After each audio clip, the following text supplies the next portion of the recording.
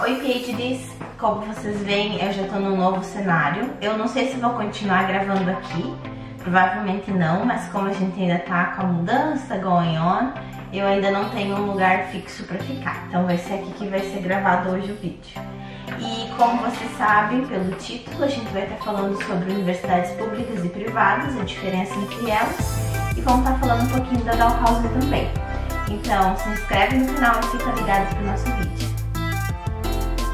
Eu recebi uma pergunta em se a Dalhouse era uma universidade pública ou privada e se a gente precisava pagar essa universidade, pagar a Dalhouse para ser estudante. Então eu acho que é importante a gente mencionar que no Canadá a diferença entre universidades públicas e privadas é que a universidade pública ela é subsidiada pelo governo. Significa que os estudantes vão pagar a tuition fee, que são as taxas escolares, mas o governo vai adicionar mais dinheiro em cima disso para a universidade andar.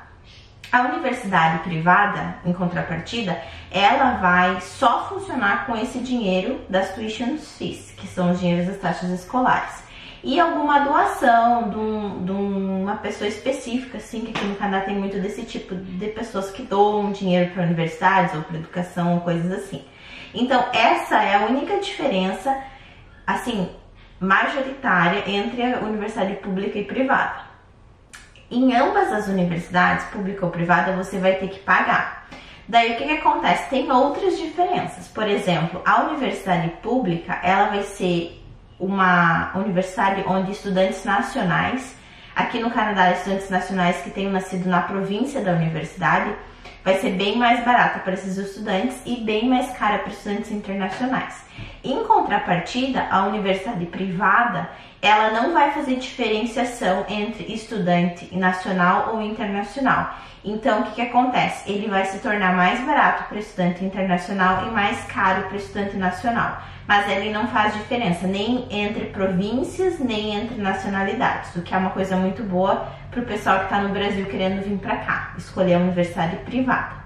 A outra diferença é que a universidade pública, as turmas e a universidade e tudo mais, ela vai ser muito maior. Porque como o governo subsidia e é mais barato para canadense, ela vai ser uma universidade que vai ter mais atração desses estudantes.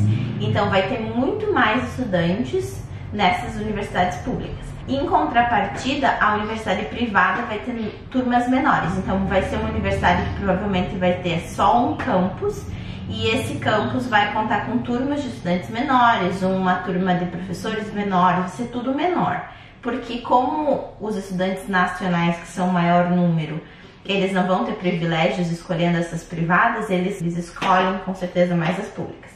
Então, essas são as diferenças básicas da universidade pública e privada aqui no Canadá. E a Dalhousie, ela é considerada uma universidade pública de Nova Escócia. Então, ela é subsidiada pelo governo. As tuitions fees, elas ajudam a universidade a se manter, mas elas não são o main point.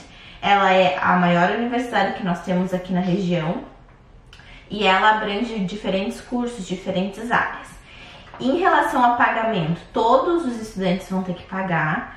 Para estudantes internacionais, tem uma taxa internacional que se soma à taxa normal da universidade.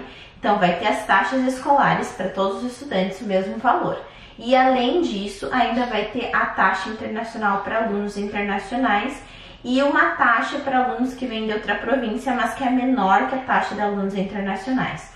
Então, durante o mestrado, por exemplo, para vocês terem uma ideia de valores, os estudantes pagavam na média de 2.000, 2.500 dólares por semestre no mestrado, e o estudante internacional, além dos 2.000 dólares, tinha que pagar mais 3.500 de taxa internacional por semestre.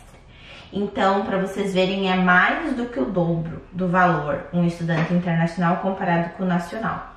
E é isso aí, galera. espero que vocês vão estar tá curtindo os nossos vídeos. Se vocês quiserem que eu faça mais um daquelas 10 perguntas ou 5 perguntas rapidinhas, vocês deixem no comentário e fiquem ligados pro próximo vídeo. Tchau, PhDs!